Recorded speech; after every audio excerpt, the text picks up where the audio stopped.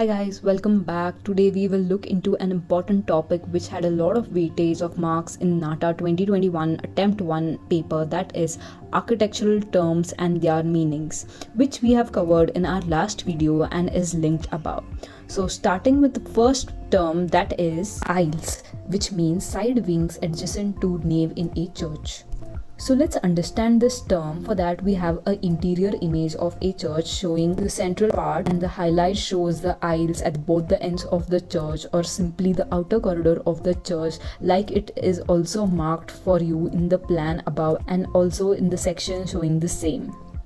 Similarly, we also came across this another term that is nave. So looking at that, nave which means a central and principal part in the church. So here we again have the similar image of the church with the plan highlighting the nave that is the central part of the church or the central corridor which leads you towards the deities. Moving on, the next term is arcade which means a range of arches supported by columns. So looking at the image, you must be pretty clear that arcade means many many arches together with vertical supports. They can be semicircle arch or a pointed arch or any other kind of arch like you can see in the diagram. With this we also come across the term arch. So now arch means a circular or decorative support to cover a span to support masonry above. So like you can see in the image you have two vertical supports and a radius of the arch which then supports the masonry above and here is the image for your clear understanding. Moving on, what is architrave? A molded framework around the doorway. This time don't be confused, it is not an arch. Architrave means the border of a door or a window or any kind of opening like it is marked for you in the diagram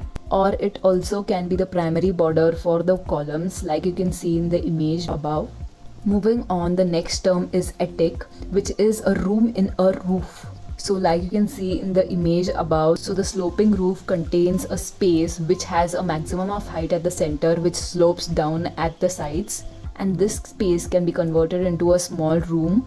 Like you can see in the image and also if you've seen the movie Harry Potter this is the same room he has which is called as a attic Moving on, the next term is baluster, which means vertical supports in a staircase supporting a handrail. So here is one kind of a baluster, which you can see used many a times in series, supports the handrail above and the baluster can be in any shape and form like you can see or it can be also used for the staircase which has glass railings like you can see in the image Moving on, the next term is beam that is horizontal load bearing structural element in the building. Here is the image where the red highlighted supports are the beams which are horizontal and directly supports the slab. Here's another image showing you the beams, the horizontal supports. So the next term is interlinked with beam that is column which means vertical load bearing structural element in the building. So this is the vertical support to the load bearing structure. Looking at the image, the vertical support marked in red are the columns. Now you must be pretty clear about beams and columns. The beams are yet there in this image as well but are not marked red like you can see in the same image as the beams the horizontal ones are the beams and the vertical ones are the columns.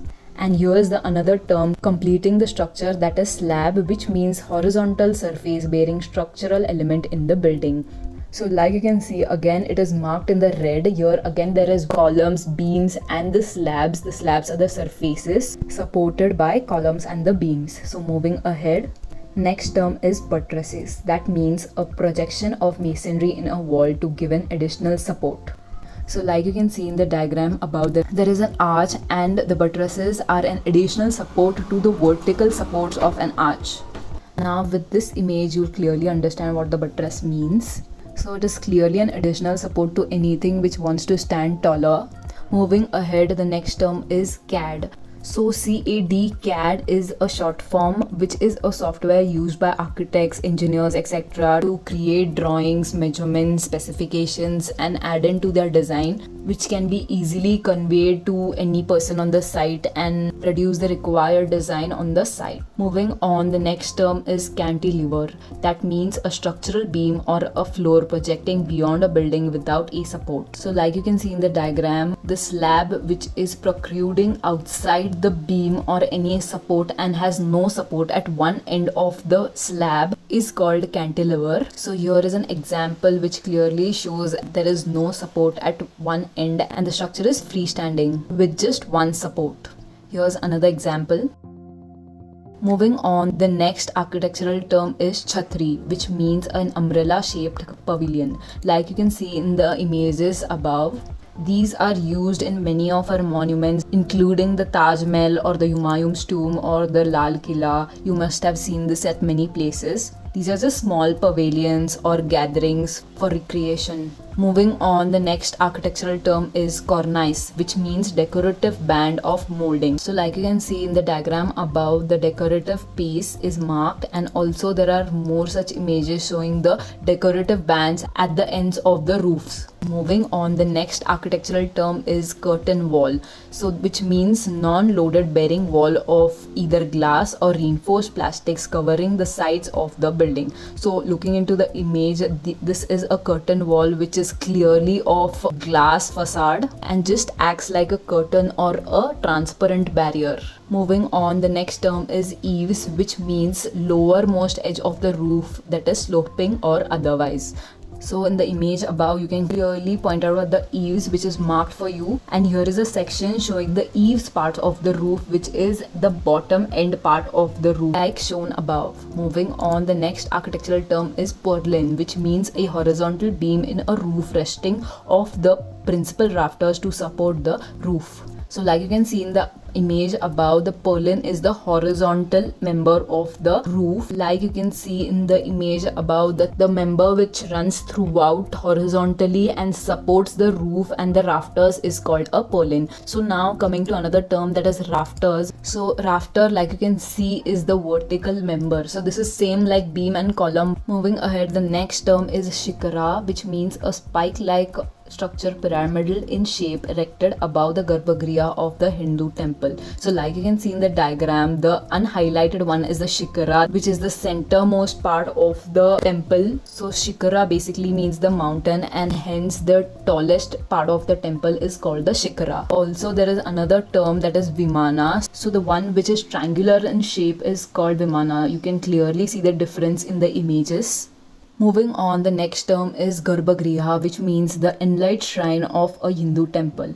That is the centermost part of the temple where we are not allowed in most of the temples that is the center shrine of the temple like you can see in the image above. So moving on to the next term that is stucco which means relief decoration in wall by molding plaster. So like you can see in the images the decoration which you see in these ancient buildings or churches is called stucco Moving on, the next term is Gopuram, that is a gateway tower of a southern Indian temple. So, like you can see in the diagram, when the Vimana, a triangular shaped Shikara, when it is having a gateway, is called a Gopuram, that is a gateway of the South Indian temples. Like you can see in the images.